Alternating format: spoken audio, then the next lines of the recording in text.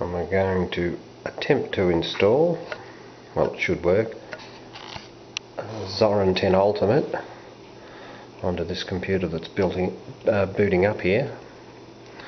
As you can see it's 2.5 gigahertz, got 4 gigs of RAM and I'm just going to choose the boot which is that SanDisk which is the little USB stick I've got in the bottom. It's got persistence on it and I'm pretty sure I've installed simple screen recorder on it so I may even be able to ditch the handheld camera and attempt to do it with the screen recorder running. Uh, I do have a USB 3 uh, card inside there but it doesn't uh, allow me to boot from it which is unfortunate but anyway we'll just um, have a crack and see what happens. It's going to be lengthy, but it's your choice whether you watch or not. And we're just going to take the default there and save ourselves five or six seconds. And that should boot up to the Zorin live session desktop in a minute or so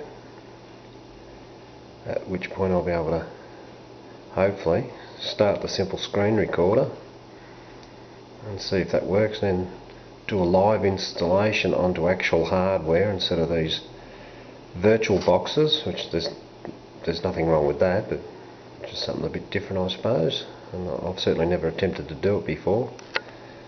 I have installed quite a few Linux distributions from USB sticks and DVDs etc onto what have I got? Four four different computers so I've done this quite a few times.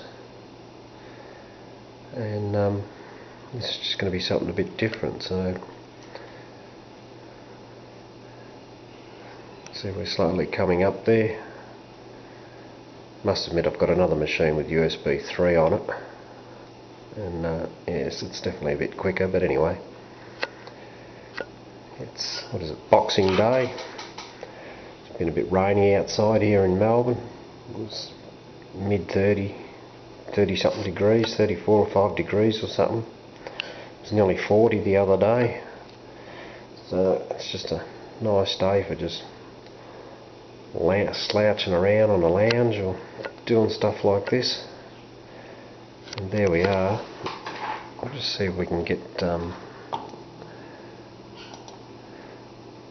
simple screen recorder going there it is so I'll attempt to get simple screen recorder going and record the process from the actual machine that's uh, getting the job done on it. So this will be part one. We'll come back to part two, which will be the actual install.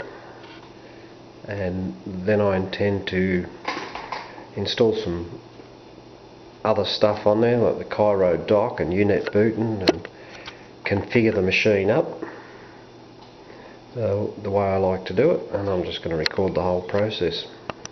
Alright, I'll catch you on the next video.